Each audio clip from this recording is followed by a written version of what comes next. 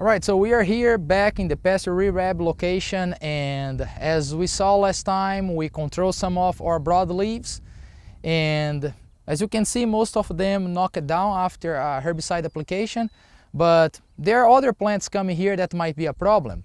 One of them that's pretty common that comes pretty aggressively right now is Johnson grass.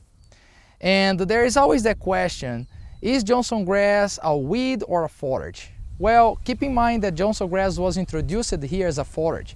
And actually it's a good forage. We have about 15%, 14% crude protein and a TDN of 60%.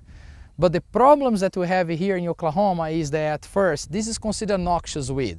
So that's why sometimes you wanted to control it. And also, uh, you can have nitrate and also prussic acid toxicities. So the plant, uh, again, uh, can concentrate nitrate or prussic acid and those can be in certain level uh, toxic to the animal. So that's why we need to avoid that the animal, cattle or horses, eat those plants when they have a high concentration. Uh, when that high concentration comes, let's say if the plant stay in a drought condition for too long and after comes a rain, after the rain that wake up those plants from the drought time is when we are going to have a high concentration of nitrates and or prussic acid. So after a rain that followed a drought period, it's better that at least you wait like four or five days before cutting for hay or introducing cattle. So in order to control Johnson grass, we can think about overgrazing, mechanical control by mowing, or herbicides.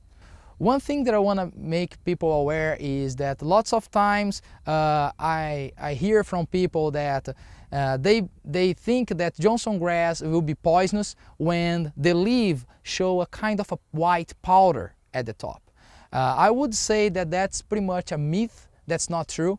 Uh, Johnson grass can be with high concentrations of nitrate and also prussic acid regardless having that white powder or not. For sure, the ultimate test would be a forage sample that you're going to send to a lab and they will even do the analysis and come with the right concentration that you have of those, those toxicities.